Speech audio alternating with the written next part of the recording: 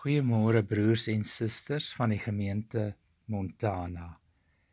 Deur die geloof in Jesus Christus ontvang die Christen 'n nuwe lewe. Nou word elke gelowige opgeroep om hierdie nuwe lewe in die daaglikse praktyk uit te leef. In Romeine 12 vers 2 lees ons: Julle moenie aan hierdie sondige wêreld gelyk word nie. In die Grieks bevat die woord wat hier vir gelyk word gebruik word die idee van 'n skema. Die gelowige mag dus nie inpas by die skema van die sondige wêreldgees nie. En alles wat nie die toets van God se wil kan deurstaan nie, is sonde. Die gelowige moet dus breek met 'n wêreldsgesinde lewe.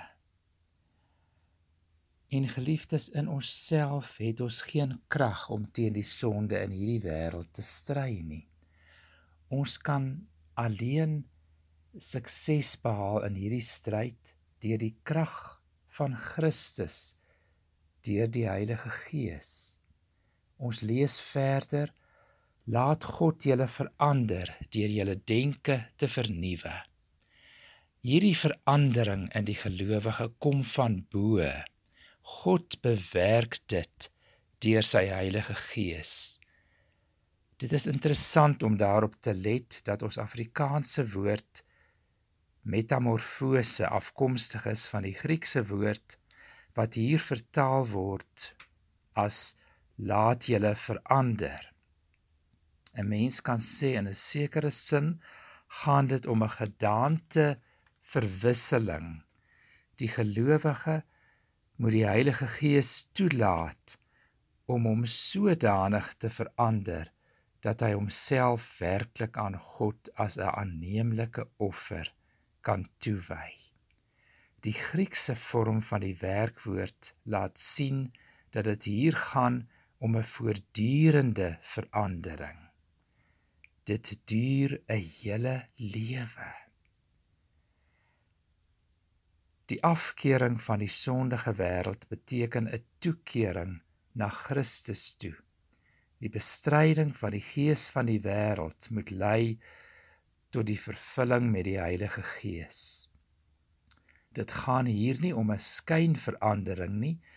Dit gaan om 'n wesenlike en radikale verandering. Dit raak die kern van die mens se bestaan. Dit gaan oor jou denke wat vernuwe moet word.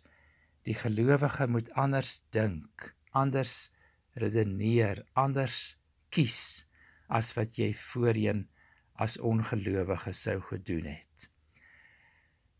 Jou hele denke en lewensgerigtheid moet om Christus sentreer en in die kragveld van die Heilige Gees staan deur die gelykvormigheid aan die wêreld te vermy en aan vanuit die denke vernuwe te word verkry die gelowige die vermoë om te onderskei.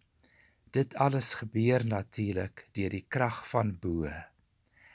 Wanneer die gelowige die vermoë het om die dinge te onderskei waarop dit werklik aankom is jy geestelik 'n mondige mens Hierin gaan dit natuurlik nie om die mens se prestasie vermoë nie, maar soos ons teks sê om te kan onderskei wat die wil van God is. Maar daarvoor is die vernuwing deur Christus en die verligting deur die Heilige Gees nodig. Die mondigheid van die kind van God bestaan dus daarin om te onderskei of iets volgens die wil van God is. En hierdie wil vind ons in sy woord. Die gelowige moet in alles sy afhanklikheid van die Here en sy Gees besef. So ontvang jy 'n helder insig, 'n oorwoonheid en fyngevoeligheid vir wat gepas, reg en volgens die wil van God is. die gelowige word ingestem volgens die Heilige Gees. En na mate 'n mens op die pad van geestelike groei vorder, raak jy al hoe gevoeliger vir die sonde. Dit maak jou seer, dit dryf teen jou hele wese in. Geliefdes, mag ons steeds hierdie fyngevoeligheid ontvang om te kan onderskei wat die wil van ons hemelse Vader is. En weet u, die toets vir die nuwe lewe en vir die vervulling met die Heilige Gees lê nie so seer in allerlei emosionele ervarings nie, maar die toets vir 'n nuwe lewe is gehoorsaamheid aan God se wil. Die maatstaf vir ons denke, ons woorde en optrede in die nuwe lewe is die wil van God. En ons teks sê sy wil is wat vir hom goed en aanneemlik en volmaak is. En dit is nie moeilik nie. In sy woord het God sy wil aan ons geopenbaar. Christus het sy wil konkreet kom vervul. Ons bid, Heilige Gees, wil U ons so beheer en lei dat ons volgens die wil van ons hemelse Vader sal lewe.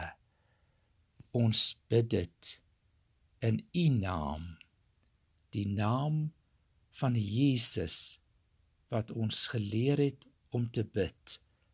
Laat U wil geskied. Amen.